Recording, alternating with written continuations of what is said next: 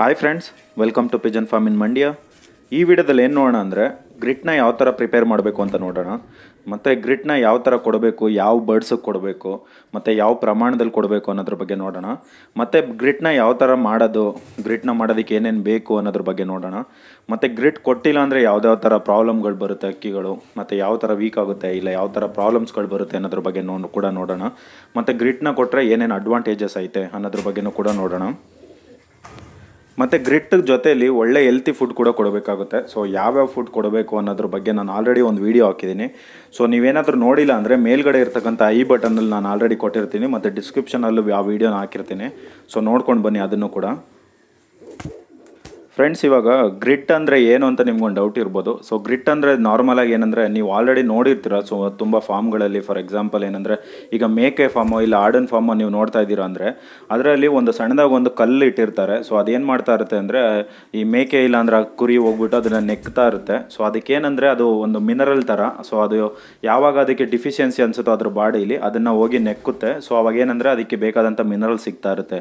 So ಅದರಿಂದ ಏನು ಮಾಡಿರ್ತಾರೆ ಅಂದರೆ ಎಲ್ಲ ಮೇಕೆ ಫಾರ್ಮ್ಸಲ್ಲೆಲ್ಲ ನಾರ್ಮಲಾಗಿ ಇಟ್ಟಿರ್ತಾರೆ.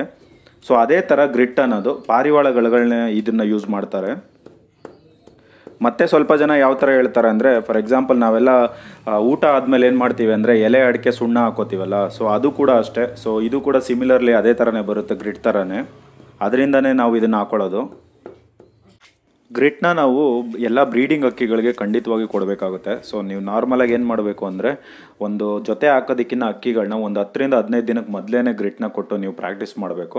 ಮತ್ತೇನೆಂದರೆ ಅದು ಮೊಟ್ಟೆ ಇಟ್ಟಾಗ ಮತ್ತು ಮರಿ ಮಾಡಿದಾಗ ಅದು ಪ್ರತಿ ಸಾರಿ ನಿಮ್ಮ ಹತ್ರ ಅಕ್ಕಿ ಹತ್ರ ಇರಬೇಕು ಅದು ಅಂದರೆ ಟ್ವೆಂಟಿ ಫೋರ್ ಅವರ್ಸ್ ಅವೈಲೇಬಲ್ ಇರೋ ಥರ ನೋಡ್ಕೋಬೇಕು ನೀವು. ಸೊ ಮೇವು, ನೀರು ಯಾವ ಥರ ಇಟ್ಟಿರ್ತೀರೋ, ಅದೇ ಥರ ನೀವು ಗ್ರಿಟ್ಟು ಕೂಡ ಯಾವಾಗಲೂ ಇರಬೇಕು. ಫಾರ್ ಎಕ್ಸಾಂಪಲ್ ನಾವು ಇವಾಗ ಆಲ್ರೆಡಿ ಬ್ರೀಡಿಂಗ್ ಮಾಡ್ತಾ ಇದ್ದೀವಲ್ಲ ಸೊ ನೀವು ಚೆಕ್ ಮಾಡಿದ್ರೆ ಏನಂದರೆ, ನಾವು ಯಾವಾಗಲೂ ಗ್ರಿಟ್ನ ಇಟ್ಟಿರ್ತೀವಿ. ಸೊ ಅದು ಹೆಂಗೆ ಅಂದರೆ ಅಕ್ಕಿಗಳು ಜಾಸ್ತಿ ತಿನ್ನುತ್ತೆ ಈ ಟೈಮಲ್ಲಿ, ಮರಿಗಳಿಗೆ ಅದು ಹೆಲ್ತಿಯಾಗಿ ಬರುತ್ತೆ ಅಂತ ಅದಕ್ಕೆ ಗೊತ್ತು. ಸೊ ಅದೇ ಅದನ್ನು ತೊಗೊಂಡು ತಿಂತಾ ಇರುತ್ತೆ, ಮೊಟ್ಟೆ ಇಡಬೇಕಾದ್ರೆ. ನೀವು ನಾರ್ಮಲ್ ಟೈಮಲ್ಲಿ ಬ್ರೀಡಿಂಗ್ ಮಾಡ್ತಾ ಇಲ್ಲ ಅಂದರೆ ಗ್ರೇಟ್ನ ಅಕ್ಕಿಗಳು ಜಾಸ್ತಿ ತೊಗೊಳ್ಳಲ್ಲ ಅದೇ ಮರಿನೋ ಇಲ್ಲ ಮೊಟ್ಟೆನೋ ಇಟ್ಟೈತೆ ಅಂದರೆ ಆ ಟೈಮಲ್ಲಿ ಅಕ್ಕಿಗಳು ಜಾಸ್ತಿ ತಿಂತಾ ಇರುತ್ತೆ. ನೀವು ಗ್ರಿಟ್ನ ಪ್ರಿಪೇರ್ ಮಾಡಬೇಕಂದ್ರೆ ನಿಮಗೆ ಮೇಯ್ನಾಗಿ ನಾಲ್ಕು ಐಟಮ್ಗಳು ತುಂಬ ಇಂಪಾರ್ಟೆಂಟು ಸೊ ಅದು ಯಾವುದು ಯಾವುದು ಅಂದರೆ ಒಂದು ಕ್ಯಾಲ್ಸಿಯಂ ಇರ್ತಕ್ಕಂಥ ಒಂದು ಐಟಮ್ನಾದ್ರು ತೊಗೋಬೇಕು. ಮತ್ತು ಇನ್ನೊಂದು ಏನಂದರೆ ಕಾರ್ಬನ್ ಇರ್ತಕ್ಕಂಥ ಒಂದು ಐಟಮ್ನಾದ್ರು ತೊಗೋಬೇಕು. ಮತ್ತು ಏನಂದರೆ ಮಿನರಲ್ಸ್ ಇರ್ತಕ್ಕಂಥ ಒಂದು ಐಟಮ್ ತೊಗೋಬೇಕು. ಮತ್ತು ಇನ್ನೊಂದು ಏನಂದರೆ ಐರನ್ ಇರ್ತಕ್ಕಂಥ ಐಟಮ್ನ ಒಂದು ತೊಗೋಬೇಕಾಗುತ್ತೆ. ಸೊ ನಾನು ಯಾವುದ್ಯಾವುದು ಏನೇನು ಐತೆ ಅಂತ ಹೇಳ್ತೀನಿ ನೋಡಿ. ಫಸ್ಟು ಕ್ಯಾಲ್ಸಿಯಂ ನೋಡೋಣ. ಕ್ಯಾಲ್ಸಿಯಂ ಅಂದರೆ ನಿಮಗೆ ತುಂಬ ಥರದ ಐಟಮ್ಗಳು ಸಿಗುತ್ತೆ. ಸೊ ನೀವು ಯಾವ್ದಾರು ಒಂದು ಇಲ್ಲ ಎರಡನ್ನ ಹಾಕೊಂಡ್ರೆ ಓಕೆ ಸೊ ಅದರಲ್ಲಿ ಮೊದಲನೇದು ನಿಮಗೆ ಈ ಕಪ್ಪೆ ಚಿಪ್ ಸಿಗುತ್ತೆ. ಕಪ್ಪೆ ಚಿಪ್ ಅಂದರೆ ಈ ಮರಳಲ್ಲಿ ಅಲ್ಲೆಲ್ಲ ಇರುತ್ತೆ, ನದಿ ಹತ್ರ ಅಲ್ಲೆಲ್ಲ ಇರುತ್ತೆ. ಸೊ ಅದನ್ನು ನೀವು ಹುಡ್ಕೊಂಡು ತೊಗೋಬೋದು. ಅದನ್ನು ತೊಗೊಂಡು ಏನಂದರೆ ಫುಲ್ ಚೂರು ಮಾಡ್ಕೋಬೇಕು. ಸೊ ಇದು ಒಂದು ಕಪ್ಪೆ ಚಿಪ್ಪು ಮತ್ತು ಇಲ್ಲಾಂದರೆ ಇಂಗ್ಲೀಷಲ್ಲಿ ಏನು ಹೇಳ್ತಾರೆ ಅಂದರೆ ಶೀಶೆಲ್ ಅಂತ ಹೇಳ್ತಾರೆ. ಸೊ ಅದನ್ನು ತೊಗೋಬೋದು. ಮತ್ತು ಎರಡನೇದು ಏನಂದರೆ ನಿಮ್ಮ ಹತ್ರ ಮೊಟ್ಟೆ ಸಿಪ್ಪೆಗಳು ಇರುತ್ತೆ. ಸೊ ಮೊಟ್ಟೆ ಸಿಪ್ಪೆನ ತೊಗೊಳ್ಳಿ.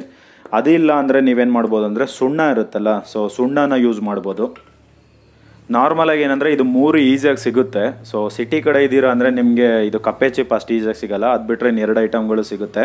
ಸೊ ಅದೇ ನೀವು ಇನ್ನೂ ಒಂದು ನಾಲ್ಕನೇ ಐಟಮ್ ಏನಂದರೆ ಇದು ಮೀನುಗಳದ್ದು ಬೋನ್ ಇರುತ್ತಲ್ಲ ಸೊ ಅದು ಸ್ವಲ್ಪ ಜನ ಹಾಕ್ತಾರೆ ಬಟ್ ನಾರ್ಮಲಾಗಿ ಅದೆಲ್ಲೂ ಸಿಕ್ಕಲ್ಲ. ಸೊ ದೊಡ್ಡ ದೊಡ್ಡ ಮೀನುಗಳಿರುತ್ತಲ್ಲ ಅದರದ್ದು ಮೂಳೆ ಇರುತ್ತಲ್ಲ, ಆ ಮೂಳೆನ ಪುಡಿ ಮಾಡಿ ಹಾಕಬೇಕು ಅಂತ ಹೇಳ್ತಾರೆ.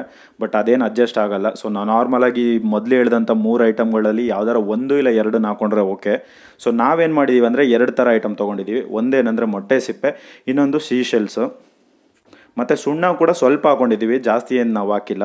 ಅದನ್ನು ಕೂಡ ತೋರಿಸ್ತೀನಿ. ಸೊ ಇದು ಮೂರು ಐಟಮ್ ನಾವು ತೊಗೊಂಡಿದ್ದೀವಿ ಕ್ಯಾಲ್ಸಿಯಮ್ಗೆ ಸೊ ನೆಕ್ಸ್ಟು ನೀವೇನಂದರೆ ಐರನ್ ಅನ್ನೋದು ಐರನ್ಗೆ ಏನು ಮಾಡಬೇಕು ಅಂದರೆ ನೀವು ಕೆಂಪು ಮಣ್ಣು, ಇಲ್ಲಾಂದರೆ ಇಟ್ಟಿಗೆ ಪುಡಿ, ಅದು ಇಲ್ಲ ಅಂದರೆ ನೀವು ಉತ್ತದ ಮಣ್ಣು. ಸೊ ಇದು ಮೂರರಲ್ಲಿ ಯಾವ್ದಾರ ಒಂದು ತೊಗೋಬೋದು, ಇಲ್ಲ ಮೂರು ಐತೆ ಅಂದ್ರೂ ಸ್ವಲ್ಪ ಸ್ವಲ್ಪ ತೊಗೋಬೋದು. ಸೊ ಇದೇನಾಗುತ್ತೆ ಅಂದರೆ ಐರನ್ ಕಂಟೆಂಟ್ ಜಾಸ್ತಿ ಇರುತ್ತೆ. ಸೊ ಇದರಿಂದ ಅಕ್ಕಿಗಳು ಹೆಲ್ತಿಯಾಗಿರುತ್ತೆ ಇದು ಒಂದು ಎರಡನೇ ಪಾಯಿಂಟು ಇದು ಮೂರರಲ್ಲಿ ಯಾವುದನ್ನು ತೊಗೊಂಡ್ರು ಓಕೆ ಇಲ್ಲ ಮೂರನ್ನೂ ಸ್ವಲ್ಪ ಪ್ರಮಾಣದಲ್ಲಿ ತೊಗೊಂಡ್ರು ಓಕೆ ಮಿನರಲ್ಸ್ಗೆ ನೀವೇನೇನು ಯೂಸ್ ಮಾಡಬೇಕು ಅಂದರೆ ಸೊ ಒಂದೇನಂದರೆ ಮರಳು ಇರುತ್ತಲ್ಲ, ಮನೆ ಕಟ್ಟ ಮರಳು ಸೊ ಅದನ್ನು ಯೂಸ್ ಮಾಡ್ಬೋದು. ಮತ್ತು ಇನ್ನೊಂದೇನೆಂದರೆ ಎಂ ಸ್ಯಾಂಡು ಇಲ್ಲಾಂದರೆ ಗ್ರಾನೈಟ್ ಪೌಡರ್ ಅಂತ ಹೇಳ್ತಾರೆ ಸೊ ಅದನ್ನು ಯೂಸ್ ಮಾಡ್ಬೋದು. ಈ ಎರಡು ಮೇಯ್ನಾಗಿ ಯೂಸ್ ಮಾಡ್ತಾರೆ. ಮತ್ತು ಸ್ವಲ್ಪ ಸಾಲ್ಟ್ ಯೂಸ್ ಮಾಡಬೇಕು. ಸೊ ಇವಾಗ ಒಂದು ನೀವು ಹತ್ತು ಕೆ ಜಿ ಮಾಡ್ತಾ ಇದ್ರೆ ಅಂದರೆ, ಒಂದು ಇನ್ನೂರು ಗ್ರಾಮ್ ಸಾಲ್ಟ್ ಹಾಕ್ಕೊಳ್ಳಿ ಅಷ್ಟೇ. ಜಾಸ್ತಿ ಹಾಕ್ಬೇಡಿ ಒಂದು ಎರಡು ಪರ್ಸೆಂಟ್ಗಿಂತ ಕಡಿಮೆ ಇದ್ದರೆ ಸಾಲ್ಟ್ ಓಕೆ ತುಂಬ ಹಾಕ್ಬಾರ್ದು ಸೊ ಮಿಕ್ಕಿದೆಲ್ಲ ನೀವು ಹೇಳಿದ್ನೆಲ್ಲ, ಒಂದು ಟೆನ್ ಟೆನ್ ಪರ್ಸೆಂಟ್ ತೊಗೊಳ್ಳಿ.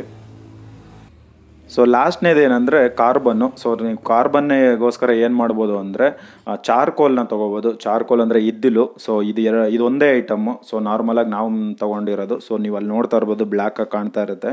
ಸೊ ಅದೇ ನಾವು ಕಾರ್ಬನ್ಗೆಗೋಸ್ಕರ ಯೂಸ್ ಮಾಡಿರೋದು. ಸೊ ಇವಾಗ ನಾಲ್ಕು ಐಟಮ್ನು ನಾನು ಹೇಳಿದ್ದೀನಿ ಫ್ರೆಂಡ್ಸ್ ಯಾವುದ್ಯಾವ್ದನ್ನ ತೊಗೋಬೇಕು ಅಂತ. ಸೊ ನೀವು ಇದರಲ್ಲಿ ಎಲ್ಲನೂ ಹಾಕಬೇಕು ಅಂತ ಏನಿಲ್ಲ. ಬಟ್ ನಿಮ್ಗೆ ಯಾವುದೇ ಸಿಗುತ್ತೋ ಅದನ್ನು ತೊಗೊಳ್ಳಿ. ಎಲ್ಲನೂ ಟೆನ್ ಟೆನ್ ಪರ್ಸೆಂಟ್ ಹಾಕ್ಕೊಳ್ಳಿ ಅಷ್ಟೇ. ಇದನ್ನು ನೀವು ನಾರ್ಮಲಾಗಿ ಬ್ರೀಡಿಂಗ್ ಅಕ್ಕಿಗಳು ಕೊಡಬೇಕು ಅಂತ ನಾನು ಆಲ್ರೆಡಿ ಹೇಳಿದೆ.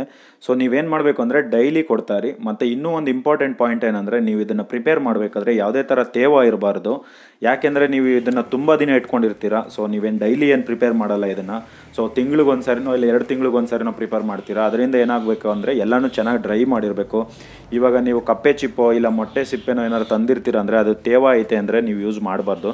ಅದನ್ನು ಒಂದು ಎರಡರಿಂದ ಮೂರು ದಿನಕ್ಕೆ ಬಿಸಿಲಿಗೆ ಹಾಕಿ ಚೆನ್ನಾಗಿ ಒಣಗಾಕ್ಬಿಟ್ಟು ಅದು ಚೆನ್ನಾಗಿ ಡ್ರೈ ಆದಮೇಲೆ ಅದನ್ನು ತಗೊಂಡು ಪೀಸ್ ಮಾಡಿ. ಅದನ್ನು ಯಾವುದೇ ಕಾರಣಕ್ಕೂ ನೀವು ಫುಲ್ಲು ಗ್ರೈಂಡ್ ಮಾಡಿಬಿಡ್ಬಾರ್ದು. ಏನಂದರೆ ಪುಡಿ ಥರ ಮಾಡಬಾರ್ದು.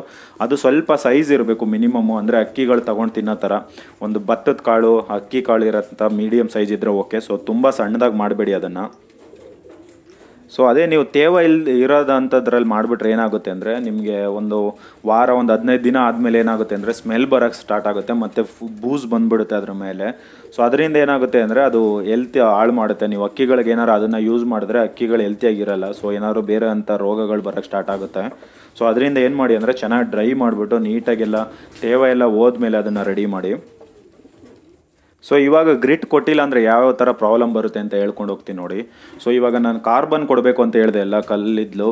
ಸೊ ಇದ್ಲು ಕೊಟ್ಟರೆ ಏನಾಗ ಕೊಟ್ಟಿಲ್ಲ ಅಂದರೆ ಏನಾಗುತ್ತೆ ಅಂದರೆ ಅಕ್ಕಿಗಳು ಗ್ರೀನ್ ಪಿಕ್ಕೆ ಹಾಕೋದು, ನೀರು ಥರ ಪಿಕ್ಕೆ ಹೋಗೋದು ಈ ಥರ ಎಲ್ಲ ಬರುತ್ತೆ. ಸೊ ಅದರಿಂದ ಏನಂದರೆ ಇದನ್ನು ನೀವು ಗ್ರಿಟ್ನ ಕೊಟ್ಟರೆ ಅಕ್ಕಿಗಳು ಹೆಲ್ತಿಯಾಗಿರುತ್ತೆ ಸೊ ಇದು ಒಂದು ಪಾಯಿಂಟು ನೆಕ್ಸ್ಟ್ ಏನಂದರೆ ನೀವು ಸ್ವಲ್ಪ ಅಕ್ಕಿಗಳು ಮೊಟ್ಟೆನ ಒಂದು ಮೊಟ್ಟೆ ಇಡುತ್ತೆ. ಇಲ್ಲಾಂದರೆ ಮೊಟ್ಟೆ ಹೆಲ್ತಿಯಾಗಿಡಲ್ಲ ಅದು ವೀಕ್ ಆಗಿಟ್ಟಿರುತ್ತೆ. ಮತ್ತು ಸ್ವಲ್ಪ ಅಕ್ಕಿಗಳು ಏನಂದರೆ ಒಂದು ಮೊಟ್ಟೆ ತುಂಬ ದಪ್ಪಕ್ಕೆ, ಒಂದು ಮೊಟ್ಟೆ ತುಂಬ ಸಣ್ಣಕ್ಕಿಡುತ್ತೆ ಸೊ ಆ ಟೈಮಲ್ಲಿ ಇದು ಗ್ರಿಟ್ನ ಪ್ರಾಪರಾಗಿ ಯೂಸ್ ಮಾಡಿಲ್ಲ ಅಂದರೆ ಆ ಥರ ಆಗುತ್ತೆ. ಯಾಕೆಂದರೆ ಕ್ಯಾಲ್ಸಿಯಂ ಡಿಫಿಷಿಯನ್ಸಿ ಇರುತ್ತೆ ಅಕ್ಕಿಗಳಿಗೆ, ಅದರಿಂದ ಆ ಥರ ಆಗುತ್ತೆ. ಸೊ ನೀವು ಕ್ಯಾಲ್ಸಿಯಂ ಪ್ರಾಪರಾಗಿ ಕೊಟ್ಕೊಂಡು ಹೋದರೆ ಇದೆಲ್ಲ ಪ್ರಾಬ್ಲಮ್ಗಳು ಬರಲ್ಲ. ಮತ್ತು ಮೇಯ್ನಾಗಿ ನೀವು ಬ್ರೀಡಿಂಗ್ ಮರಿಗಳು ತುಂಬ ಹೆಲ್ತಿಯಾಗಿ ಬರಬೇಕು. ಯಾವುದೇ ಥರ ಪ್ರಾಬ್ಲಮ್ ಬರಬಾರ್ದು. ಮತ್ತು ಮರಿ ಮಾಡಿಸಿ ಒಂದು ಹತ್ತರಿಂದ ಹದಿನೈದು ದಿನದಲ್ಲಿ ಮರಿಗೆ ಕಾಲೆರಡು ಇದಾಗೋದು ವೀಕ್ ಆಗೋದು, ಅದ್ರ ಕೈಲಿ ನಿಲ್ಲಕ್ಕಾಗಲ್ಲ, ಆರೋಕ್ಕಾಗಲ್ಲ ಅನ್ನೋಂಥ ಪ್ರಾಬ್ಲಮ್ ಎಲ್ಲ ಬರೋದು ಇದರಿಂದನೇ. ಸೊ ನೀವು ಹೆಲ್ತಿಯಾಗಿರ್ತಕ್ಕಂಥ ಗ್ರಿಟ್ನ ಕೊಟ್ಟಿದ್ರೆ ಅಕ್ಕಿಗಳು ಖಂಡಿತ ಒಳ್ಳೆ ಮರಿಗಳು ಕೊಡುತ್ತೆ. ಮೊಟ್ಟೆ ಕೂಡ ಹೆಲ್ತಿಯಾಗಿ ಬರುತ್ತೆ. ತುಂಬ ಜನ ಹೇಳ್ತಾ ಇರ್ತಾರೆ ನಮ್ಮದು ಮೊಟ್ಟೆ ಇಡ್ತೈತೆ ಬಟ್ ಮರಿ ಬರ್ತಾ ಇಲ್ಲ ಅಂತ. ಸೊ ಅದು ಕೂಡ ಇದರಿಂದ ಒಂದು ಕಾರಣ ಆಗಿರುತ್ತೆ. ಸೊ ನೀವು ಒಳ್ಳೆ ಗ್ರಿಟ್ ಕೊಟ್ಟರೆ ಅಕ್ಕಿಗಳು ಮೊಟ್ಟೆ ಹೆಲ್ತಿಯಾಗಿಡುತ್ತೆ ಮತ್ತೆ ಏನಂದರೆ ತುಂಬ ಜನ ನಾರ್ಮಲಾಗಿ ಕಂಟಿನ್ಯೂಸ್ ಮರಿ ಮಾಡಿಸ್ಬಿಡ್ತಾರೆ. ಅಂದರೆ ಒಂದು ನಾಲ್ಕರಿಂದ ಐದು ಜೊತೆ ಮರಿ ಮಾಡಿಸ್ತಾನೆ ಇರುತ್ತೆ. ಅದು ಅಕ್ಕಿಗಳನ್ನ ನೀವು ನಾರ್ಮಲಾಗಿ ಬಿಟ್ಬಿಟ್ರೆ ನಲವತ್ತೈದು ದಿನಕ್ಕೆಲ್ಲ ಒಂದು ಸಾರಿ ಮರಿ ಮಾಡಿಸ್ತಾ ಇರುತ್ತೆ. ಸೊ ನೀವು ಕಂಟಿನ್ಯೂಸ್ ಆಗಿ ಮಾಡಿದಾಗ ಗ್ರಿಟ್ ಕೊಟ್ಟಿಲ್ಲ ಅಂದರೆ ಏನಾಗುತ್ತೆ ಅಂದರೆ ಅಕ್ಕಿ ವೀಕ್ ಆಗಿಬಿಡುತ್ತೆ. ಫೈನಲ್ ಆಗಿ ಏನಾಗುತ್ತೆ ಅಂದರೆ ಒಂದು ಎರಡರಿಂದ ಮೂರು ಸಾರಿ ಮರಿ ಮಾಡುತ್ತೆ. ಅದಾದಮೇಲೆ ಏನಂದರೆ ಮೊಟ್ಟೆ ಇಡಲ್ಲ. ಇಲ್ಲ ಅಂದರೆ ಏನಾಗುತ್ತೆ ಅಂದರೆ ತುಂಬ ಅಕ್ಕಿ ವೀಕ್ ಆಗಿಬಿಡುತ್ತೆ. ಸೊ ಆಮೇಲೆ ಏನಾಗುತ್ತೆ ಅಕ್ಕಿ ನಮಗೆ ಗೊತ್ತಿಲ್ಲದೇ ಸಾತ್ತೋಗುತ್ತೆ ಅಷ್ಟೇ. ಮತ್ತು ನೀವು ನಾರ್ಮಲಾಗಿ ಮರಿಗಳನ್ನ ಏನಾದ್ರು ಒಳ್ಳೆ ಹೆಲ್ತಿಯಾಗಿ ತೊಗೊಂಡು ಲಾಂಗ್ ಡಿಸ್ಟೆನ್ಸು ರೇಸ್ಗೆಲ್ಲ ಬಿಡಬೇಕು ಅನ್ನೋ ಥರ ಏನಾರ ಪ್ಲ್ಯಾನ್ ಇತ್ತು ಅಂದರೆ ಖಂಡಿತ ನೀವು ಹೆಲ್ತಿಯಾಗಿರ್ತಕ್ಕಂಥ ಗ್ರಿಡ್ ಕೊಡಬೇಕಾಗುತ್ತೆ. ಆವಾಗಲೇ ನಿಮಗೆ ಮರಿಗಳು ಹೆಲ್ತಿಯಾಗಿ ಬರುತ್ತೆ ಸೊ ಅದು ಬೋನ್ ಸ್ಟ್ರಕ್ಚರ್ ಎಲ್ಲ ಬಿಗಿಯಾಗಿರುತ್ತೆ ಮತ್ತು ಅದ್ರ ಕ್ಯಾಲ್ಸಿಯಂ ಚೆನ್ನಾಗಿರುತ್ತೆ. ಅದಕ್ಕೆ ಆರಬೇಕು ಅನಿಸುತ್ತೆ, ಯಾಕೆಂದರೆ ಎನರ್ಜಿ ಐತೆ ಅಂದರೆ ಅಕ್ಕಿ, ಅದು ಹೆಲ್ತಿಯಾಗಿ ಫೀಲ್ ಆಗುತ್ತೆ. ಹೆಲ್ತಿಯಾಗಿ ಫೀಲ್ ಆಗೈತೆ ಅಂದರೆ ನೀವು ಡೋರ್ ಓಪನ್ ಮಾಡಿದ್ರೆ ಸಾಕು, ಅದೇ ಆಟೋಮೆಟಿಕ್ಕಾಗಿ ಆಗ ಆರ್ತಾ ಇರುತ್ತೆ. ನೀವೇನಾದರೂ ಅಕ್ಕಿಗಳನ್ನ ನೆಲದಲ್ಲಿ ಬಿಟ್ಟು ಸಾಕ್ತಾ ಇದ್ದೀರಾ ಅಂದರೆ ಬೇಕಾದ್ರೆ ನೀವು ಅಬ್ಸರ್ವ್ ಮಾಡ್ಬೋದು. ಅದೇನು ಮಾಡುತ್ತೆ ಅಂದರೆ ಮನೆ ಗೋಡೆಲೋ ಇಲ್ಲ ಎಲ್ಲ ಒಂದು ಕಡೆ ಸೈಡಲ್ಲಿ ನಿಂತ್ಕೊಂಡು ನೆಲದಲ್ಲಿ ಹೋಗಿ ಮಣ್ಣನ್ನು ತಿಂತಾ ಇರುತ್ತೆ. ಸೊ ನೀವು ಆವಾಗಲೇ ಕಂಡುಹಿಡಿಬೋದು ಅಕ್ಕಿಗಳಿಗೆ ಮಿನರಲ್ಸ್ ವೀಕ್ ಆಗೈತೆ ಗ್ರಿಟ್ ಬೇಕು ಅನ್ನೋದು ಆವಾಗಲೇ ಈಸಿಯಾಗಿ ಅರ್ಥ ಮಾಡ್ಕೋಬೋದು. ಈ ವಿಡಿಯೋದಲ್ಲಿ ಇಷ್ಟೇ friends thanks for watching next farm ಅಪ್ಡೇಟಲ್ಲಿ ನೋಡೋಣ.